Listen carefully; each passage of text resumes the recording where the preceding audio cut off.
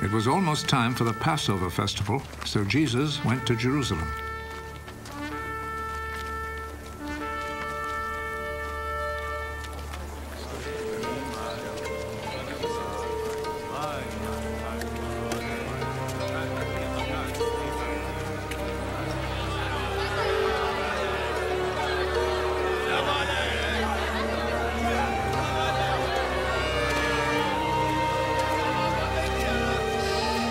There in the temple, he found people selling cattle, sheep, and pigeons, and also the money changers sitting at their tables.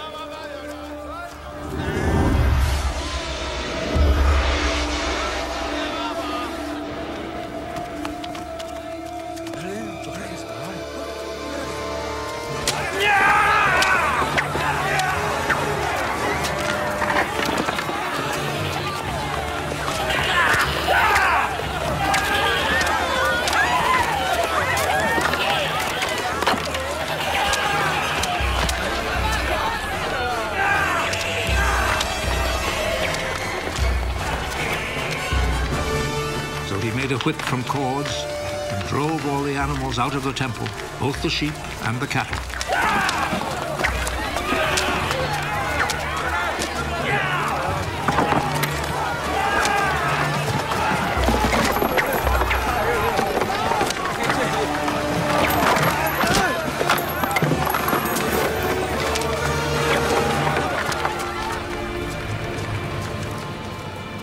He overturned the tables of the money changers and scattered their coins.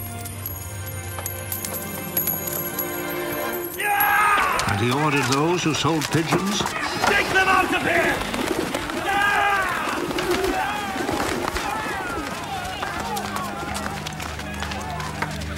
Stop making my father's house a marketplace! His disciples remembered that the scripture says, My devotion to your house, O God, burns in me like a fire.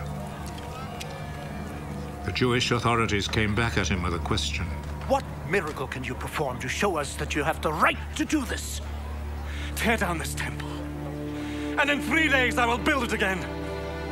Are you going to build it again in three days?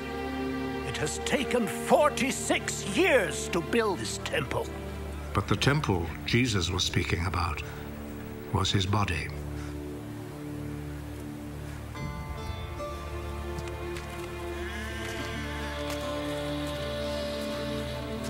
So when he was raised from death, his disciples remembered that he had said this, and they believed the scripture and what Jesus had said.